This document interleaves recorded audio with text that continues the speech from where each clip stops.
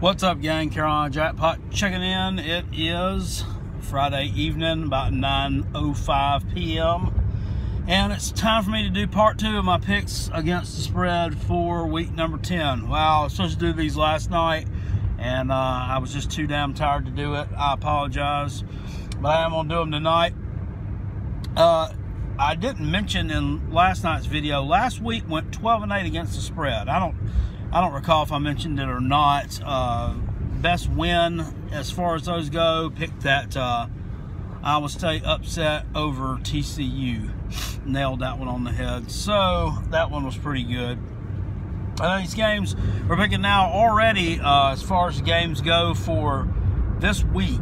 I'm already 0-1 against the spread. The Navy uh, Temple game last night actually uh, missed out on that one Temple's a lot better than I thought they were, and uh, they really brought it last night. Navy just looked uh, looked vanilla and sad. If any of y'all saw that, I don't. They have some plays that are just really slow to develop. They try to get the, they'll get the ball, they'll get it out on the edge, but the play just it, it's slow to develop, and and and their backs will try to cut back to the inside and it just leaves them wide open to just get creamed. I don't know if any of y'all watched that game last night. There were some pads popping uh, from the Temple side that uh, I didn't think they would could lay the wood like that, but uh, they certainly did. And uh, they pulled the mild upset, I guess you'd call it a mild upset over Navy. Game actually uh, close uh, at the end, but Temple took care of business. So let's uh, get into the second half of these, the last 10 picks of the uh, week. And, uh, you know, I got some comments on the last video. If you don't like watching videos where I'm driving down the road and doing a video, then turn it off because that's what I'm going to do. Uh, that's what I have to do uh, to get this done uh, and in time, okay? So it's already way, way, way too late be doing this, okay? So we won't be doing any more of these like this. Hopefully, uh, tomorrow I actually get off work at 1 o'clock, so I'll be able to watch and enjoy these games uh, as they unfold, most of them anyway. Uh, South Carolina, Georgia is uh, 24 and a half point spread according to me. Now, some of these lines have actually moved since I uh, originally laid this thing out on Tuesday evening. Uh, the Georgia Florida, or not Georgia Florida, the Missouri Florida line, where Missouri was actually favored by three when I did this and said they would cover, uh, is now actually flipped, and Florida is actually a three point favorite. You know, which I don't know. I could have went either way with that one. You know, there's an emotional edge sometimes when you break in a new coach after one uh, gets fired. Two years ago, South Carolina, for example, Shawn Elliott went out and won his first game as uh, interim head coach of the Gamecocks. So, and, uh, team played pretty decent under him, uh, except for losing to the Citadel. We won't talk about that, but uh, it, can bring a little bit of uh, of juice uh, when you get a new guy in there. But I, I, still don't. I'm not gonna change my pick on that one. I still think Missouri takes care of them at home. I just think Florida sucks.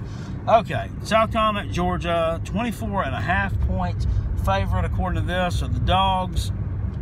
You know, this is one of the oldest rivalries uh, in the South. Uh, Georgia has been very dominant in it.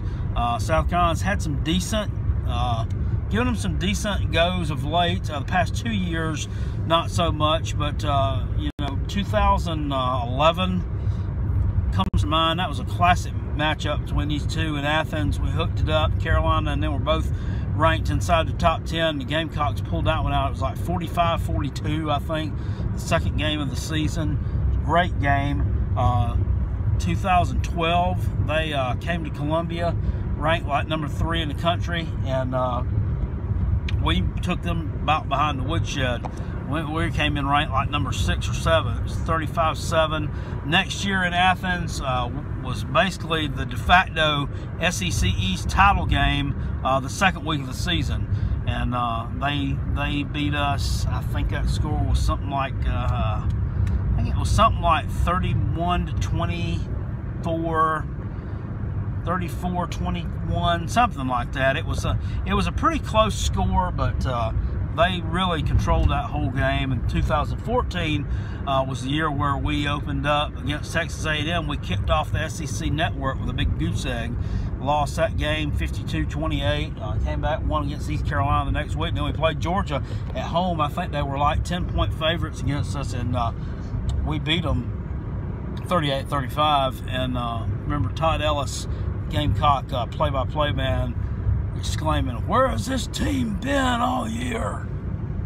So I don't know if you're going to see that happen this week. Uh, Georgia is just too much to handle. Been too much to handle for a lot of teams. First off, their defense is good, ranked in top side top five. They're ranked number one, by the way, uh, is playoff rankings, and uh, their offense is ranked inside the top five nationally. You know, it's it's okay. You can stack the box for a while against them, but their quarterback Jake Fromm, he's a pretty decent passer. so you're kind of screwed all the way around. It's kind of, it, it it's going to be up to Kurt Roper and them to develop a really good game plan. I think they're going to do it. Uh, I think South Carolina's going to cover the spread in this game. Uh, to be honest with you, I don't think we're going to win. Uh, that would take some kind of minor miracle. We just don't have the depth. We don't have the depth. Uh, you know, we may be able to stop Nick Chubb but we ain't going to stop Nick Chubb, Sony Michel, Brian Herrien, Holyfield, the whoever else they got. Uh, they got like 15 running backs, so I don't think we're going to stop all of them. I do think we're going to cover the spread. I think that Coach Muschamp is a good game day coach. I think Kurt Roper will come up with a decent plan to try to move the ball to keep the UGA offense off the field, but in the end, I don't think it's going to be enough. I see it this being like a 14, 17 point loss for us, but I think we're going to give them a better showing than a lot of the teams they faced this year have done. Georgia will take the win tomorrow afternoon in Sanford Stadium. Oklahoma, Oklahoma State. Uh, State is a two and a half point favorite. I'm going to look for them to cover the spread in this game and win it both of them are, are one-loss teams. Uh, both not totally out of the playoff picture. Um, but if Oklahoma wins this game and is able to win out, they definitely could sneak in there. Uh, they have uh, they have a better win uh, out of conference, the Ohio State win, where they actually went to Columbus and not didn't just beat Ohio State. Uh, they beat them soundly. Oklahoma State looked really good early in the season. Their offense was clicking on all cylinders. Kind of hit a little bit of a hiccup, uh, you know, a, had, had a loss there, but uh, they're still uh, very formidable, and I think they're going to take the win tomorrow in the Bedlam rivalry game over Oklahoma.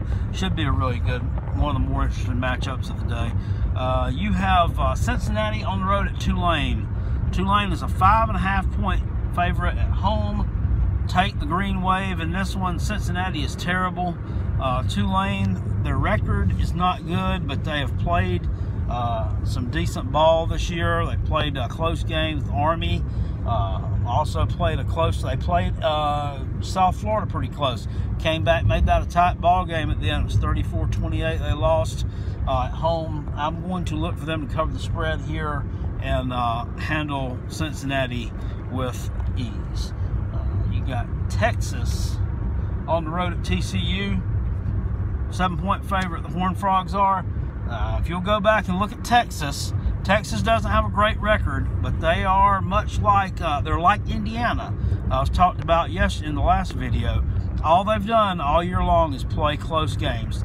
Uh, if you'll look at their games, they have not lost one by more than 10 points. Their worst loss of the season was that loss at Maryland, opening, uh, opening game of the year, which was a 10 point loss. That's their worst loss all year. Uh, you know, Oklahoma, they kept that one close. Uh, they've kept their other losses really close. I don't think they're going to win this game at TCU. They could. It wouldn't surprise me if they did. But uh, I don't think that it's. I don't think that TCU is going to cover that seven-point spread. I think the Longhorns will cover it uh, and keep this game close. This should be like a. This might be like a one or two-point affair. Southern Miss on the road at Tennessee. What's gonna is Butch Jones? Is Butchie gonna get a win here? Yeah, Butchie's gonna get a win here. Uh, their offense finally uh, saw some daylight last week against Kentucky. Uh, they lost the game. I ended up, I marked that one off that I had lost that one against the spread. I picked Tennessee to cover the spread, but I was thinking in my head, I picked them to win it outright, and I thought they would upset Kentucky and win all right, and they damn near did. Uh, and I marked that down as a loss, but I did actually cover the spread there. It was five and a half points, and uh, they lost 29 26. Uh, this week, the spread is uh, six and a half points in Neyland Stadium. That extra little half point there is going to be critical. I think Tennessee is going to cover the spread here, and I think they're going to win this game. Uh, Southern Miss has. Uh, uh, is a very mediocre team. It's very mediocre in Conference USA that they play in. You know, they have some close wins against La Tech, and uh, don't say nothing about close wins against La Tech. I know UTEP, terrible team, terrible teams, and, uh, and then they've kept it close with Southern Miss, so I don't see them uh, being able to uh, win in Knoxville tomorrow. I just don't think it's going to happen. Uh, Tennessee will get the win in that one. Uh, LSU at Alabama. LSU's been playing a lot better ball lately. Uh, they have a win against Auburn uh, at home. Uh, beat Florida on the road. Uh, beat Ole Miss. Uh, you know, neither one of those are barn burner teams, but they did win uh, after that loss to Troy. I'm going to look, there's a 21 point uh, spread there against the uh, Crimson Tide. I'm going to look for LSU to cover the spread in that game. I don't think they'll win it. It'll probably be like a two touchdown loss, but look for the uh, Bayou Bengals to not go down without a fight in that one. Vatech at Miami. Virginia Tech is a two and a half point favorite on the road against the unbeaten Hurricanes. So that shows you uh, how much uh, respect the Hurricanes are getting out there. Not a lot. And I've made videos about them before, and I don't care. I hate on them. Uh, they have uh, just, you know, they just mediocre uh, wins against mediocre teams. You know, anybody would be undefeated with that schedule. Anybody would. I mean, look at who they've played. It's terrible. Absolutely pathetic and piss poor. And I know that it's scheduled. I mean, it's not their fault. It's been a conference schedule. I understand that. It's not their fault FSU's down, but, you know, they're just a victim of the system they play in. So uh, I'm going to look for Virginia Tech to cover the spread here, uh, win that game outright. Virginia Tech, I think, is a much better football team than people realize. They're very solid defensively, and uh, they're starting to come around offense. The only game that they really uh, have not had a chance in all year was, of course, their only loss to Clemson. Uh, that that right there is probably, in my opinion, Clemson's most impressive win of the year. Was the uh, win in Lane Stadium Say what you want to about Wofford, not Wofford, Auburn, Auburn. I'm not sold on them either. Uh, I got to get here through this quick here. Oregon at Washington. Washington's uh, 17 and a half point favorite. I'm going to look for them to cover the spread. They've been playing better lately. Uh, they only have the one loss to Arizona State. That was an anomaly. Uh, Oregon, not very good. They've just been getting blown out lately. What happened to them? You know, they, I mean, just what, three years ago, they were an elite team. They're not now. I got some elite looking uniforms. Uh, South Florida on the road at UConn. They're 23 and a half point favorites. The Bulls, the Bulls, cover the spread all day. Did you see what UConn did last week against Missouri? Huh, not much, except give up points, 52 to 12. Uh, you think South Florida is better than Missouri? I certainly do. Cover that spread easily take the Bulls. They uh, suffered their first loss setback against Houston. They're going to come out swinging.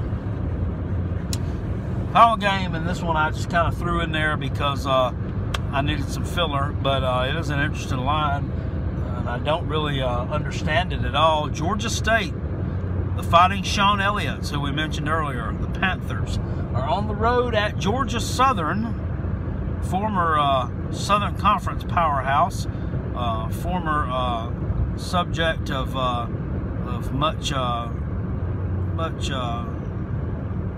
making make, fun making of the University of Florida for losing to them at home a few years ago. Georgia Southern's four-point favorites over Georgia State at home. I don't understand that. Look at the records too. Georgia Southern uh, is a much worse record than Georgia State.